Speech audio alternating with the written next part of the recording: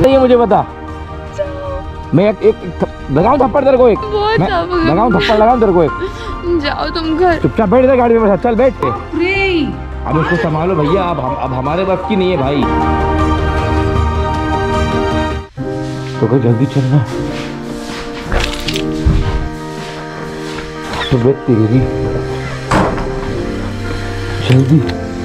अरे इसको जल्दी गर्म करो।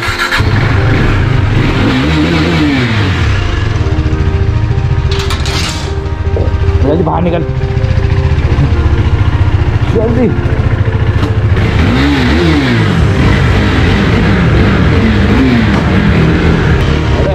तुम्हारी। तो गैस आप सब भी सोच रहे हो कि मैं इतनी जल्दबाजी, में इतनी तेज़ी में आखिर कहा जा रहा हूँ? तो गैस होता कुछ ऐसा है कि मैं अपनी एडिटिंग कर रहा होता हूँ और मेरी मम्मी के पास निकिता की मम्मी का फ़ोन आता है और वो ये बोलती है कि निकिता घर से भाग चुकी है अपना बैग और सब कुछ लेके। मम्मी मुझे बताती है, उसके बाद मैं तुरंत अपनी गाड़ी निकालता हूँ और भगता हूँ। मुझे बिल्कुल ही आइडिया नहीं रहता कि निकिता कहाँ गई होगी, कहाँ जा वो सकती है। फिर भी जहाँ जहाँ हम लोग जाते हैं, घूमते हैं, डेट करते हैं, उस लोकेशन पे मैं जाता हूँ, जो उसके घर के नियर बाय पड़ती है। मतलब बहुत ढूंढता हूँ, बहुत परेशान होता हूँ।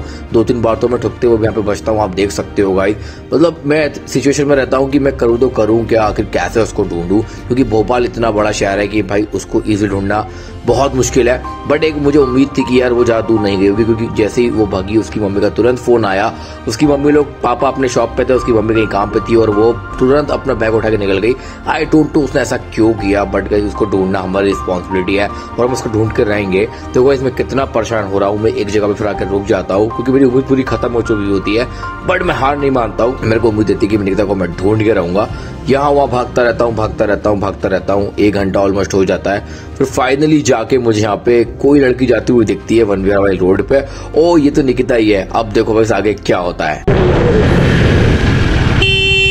इधर आ इधर आ इधर आ इधर आ। इधर आ। इधर आ। इधर आ इधर आ। कहाँ जा रही है तू? कहाँ गई थी तू? है इधर आ। कहाँ जा रही है मुझे बता। मैं एक एक, एक लगाऊँ थप्पड़ तेरे को एक? तू बेवकूफ़ समझा हुआ है हम लोगों को? तेरे को ढूंढते रहे हम लोग जब तू भक्ति जाए। हैं? बीस दिन हो गए तेरे को समझ में नहीं आ रही है। कहाँ भाग गई थी तू? क्यों निकली घर से बाहर मुझे ये बता। बोल ना। घर से बाहर क्यों निकली तू? मैं बहुत लगाऊँ थप्पड़ लगाऊँ तेरे को एक? जाओ तुम घर। चुपचाप बैठ इधर गाड़ी में चल बैठ। चुपचाप बैठ रही है कि नहीं? फेंक दूँगा को नीचे। जाने दो मेरे को तुम लेकिन मैं थपाड़ा मारूं तमाशा मत कर रोड पे। चल मेरे पीछे बैठ। चल तो छोड़ बैठ मेरे पीछे। जल्दी बैठ चल चुपचाप बैठ चुपचाप बैठ। मैं घर नहीं जाऊँगी। नहीं मेरे घर चल बस मेरे घर चल। मेरे घर चलेगी? मेरे घर चल। अरे यार तू रो मत चल आजा। ऐसे नहीं रोते भाई। चल पीछे बैठ। लोग देख रहे हैं मज़ा नहीं आ रहा है। भाई क्यों बेजती करवा रही है सबकी यार? मैं तू पता है कहाँ पे कहाँ से ढूंढते हुए आ रहा हूँ? केडी गया उधर पे वो मैदान पे गया है गाड़ी भगाते हुए आ रहा हूँ। तुमको शर्म नहीं है? हैं? बस बैग लेके मुँह उठाया और चल दिया। लोगों को देखा नहीं कि कौन क्या कितना बोलेगा कितना नहीं बोलेगा। चल बैठ चुपचाप पीछे। बैठ बैठ। मेरे घर चल बस तेरे घर नहीं जा रहे मेरे घर चल। मेरे घर चल बस। बैठ चुपचाप पीछे। जाना मत इधर बैठ चुपचाप बैठ। तेरे को मेरी कसम है निकिता। चुपचाप बैठ जा। अब बैठ जा पकड़ के। जाना मत तेरे को मेरी कसम है। कहीं जाएगी तो नहीं? पकड़ के बैठना ऐसे नहीं कि बाइक से कूद जाए। हाथ जोड़ रहा हूँ तेरे। प्लीज़ मेरे को तेरी बहुत चिंता है यार। तू ऐसा मत किया कर। रो मत चल मैं तो घर लेके चल रहा हूँ। तेरे घर छोड़ के आऊँ?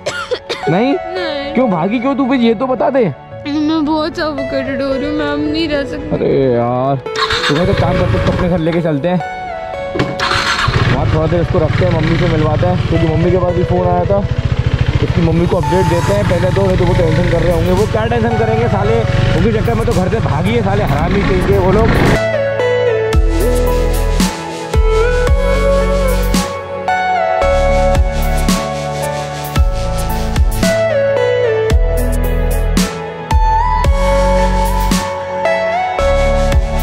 यूँ तो यहीं पे उतार दे। चल आ जा मत रो चल। मम्मी ये मिल गई। इसकी मम्मी को बता देना।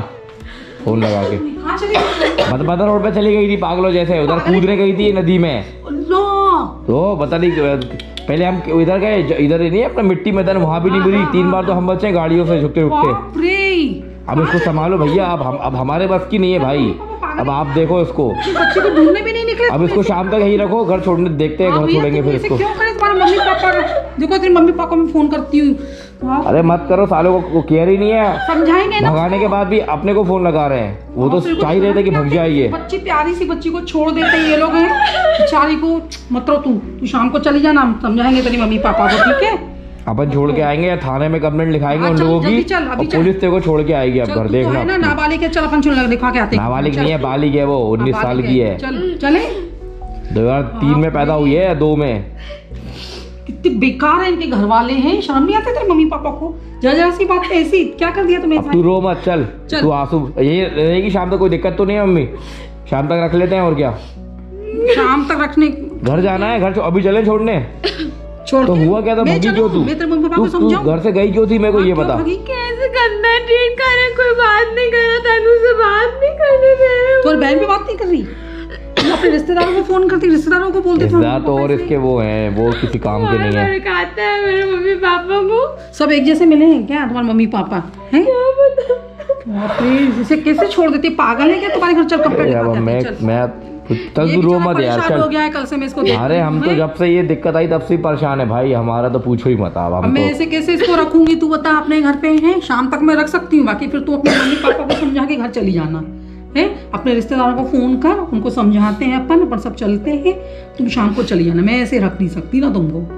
है कि अरे सब रख सकती हो यार आप रख नहीं सकती आप रख नहीं सकती। फालतू बातें? कल को वो मर जाएगी ना तो फिर आप हम आपको बताएँगे। क्यों मरेगी? हाँ कुछ हो गया उसको तो। रख नहीं सकती फालतू बातें करती हो आप। हाँ। सब रख सकते हैं कोई दिक्कत नहीं है। यहीं दूर रहे शाम तक कोई दिक्कत नहीं है। शाम को देखो मैं घर छोड़ के आऊँगा। मम्मी पापा को समझाऊँगी हाँ ठीक है। हाँ मैं समझाऊँगी तुझे छोड़ के आऊँगी। यार ऐसे थोड़ी ना होता है अपने मम्मी पापा ऐसे कोई भेजता है अपने लड़के को बाहर? निकाल देता है क्या थोड़ी चल ठीक है जा तू जब मुँह धो ले। चल आजा दूध हो ले जल्दी से मैं तेरे को शाम को छोड़ के आती हूँ। अभी तू चल। आराम कर ले जा तू। मैं एडिटिंग मुझे करनी है यार मैं खुद अपने दुकान भी जाना है। लिखवाएँगे ना वो तो कंप्लेंट फाल होगी दोबारा चलते हैं अपन। तो गाइस धन्यवाद भगवान का कि मिल गई।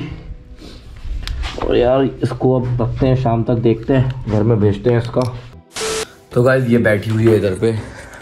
ओइच कैसा लग रहा है मेरे घर पे? हैं?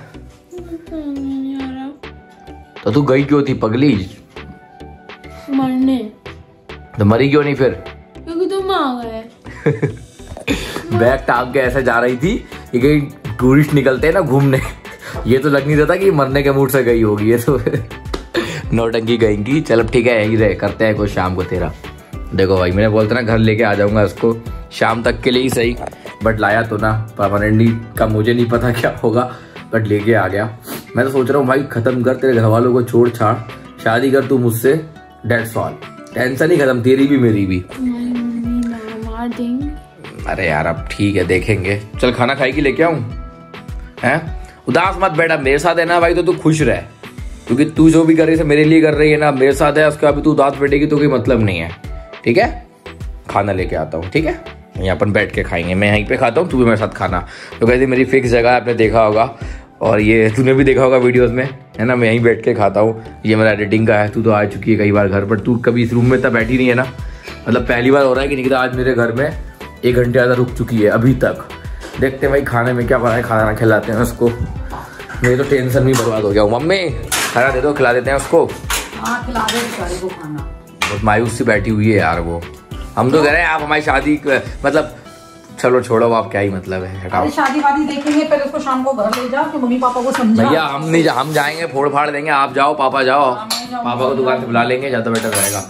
को समझाएँगे ये क्या दे रही हो उसमें? इसको खाना दूँगी ना तो एक ही प्लेट में दे रही हो क्या? अलग दे रही हो? ठीक है दे दो।